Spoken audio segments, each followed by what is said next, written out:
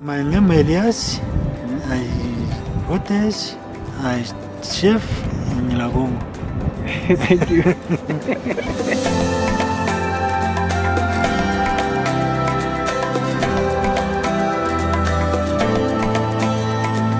Soaring above the city of Goma in eastern Congo is Mount Nyiragongo. So I've made it to the top of Nyiragongo volcano. Behind me is the largest lava lake in the world. Such an accomplishment to come up here. It took about six hours to hike up. It's the most active volcano in Africa and considered the most dangerous volcano in the world because it directly affects 2 million residents in Goma. The last eruption in 2002 killed over 2,000 people. Elias was born and raised in Kibati, the village at the foot of the volcano, and since 1991, he has spent his days as a porter. What does this mean? It means that when tourists come to hike, he carries all of their bags up to the top. So Elias is our porter and he's carrying all of our stuff in this bag with him. 1991 was the year I was born, so that means every single heartbeat of mine, he's been working on this volcano. How many times a week do you climb this mountain? Mara tatu. Three times a week. So if you have to guess, how many times did you hike this volcano? Hmm, Malamia. Mara mingi. Mara mia. You can't count. It's hundred and hundred times, maybe thousand. Yes. And he doesn't find it difficult. And normally, yeah, you hear that, you hear the rain coming now. So how much weight does he carry at the maximum? Twenty-five Kilos. Yeah, kilos. Wow. You're a strong man. Okay guys, the rain has officially arrived. So we're only about 20% to the top. So it's gonna be a wet journey to the top. So that's the summit right there. There's the top of the volcano. The lava lake is up there. It looks so far away.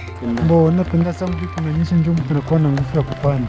When it's raining, then one have like the strength to go up. He has the strength. Yeah, So he thinks it's good. yeah. Alright, so we're at the top now, and this is our little cabin. We're sleeping for the night. It's pretty basic. It's a mattress, one for me, one for Obed. But it's got a pretty sturdy roof, which is good. Protect, protect us from the rain. Elias is also a chef, cooking all the food that he carries up for us. And believe it or not, he doesn't even carry any for him. Now it's all foggy. You can't see much at the top of the volcano here. There's a little kitchen, cooking tent. There's the man of the hour.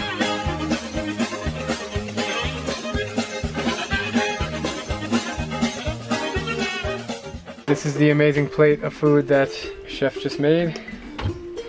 Let's take a bite. Mmm. Nice. Very good. Okay, you're welcome. Thank you. Enjoy. So refreshing after a long day of hiking. How much can you make in one week or one month? My my kazi.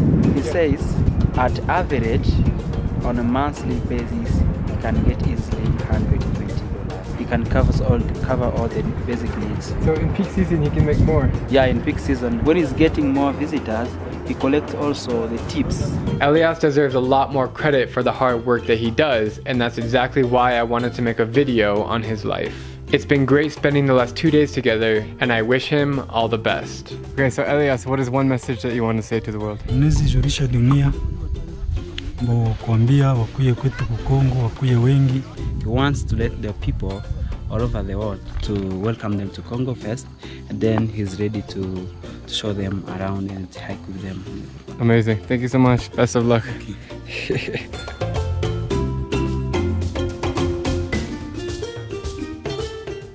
so now, as you can see, it is getting dark outside and the lava just illuminates the sky behind me. It is just fascinating. And they said this is a rare kind of explosion right now. This little mini, lo- this little mini volcano inside the crater. Oh man. I mean, Earth is cool. My name is Elias.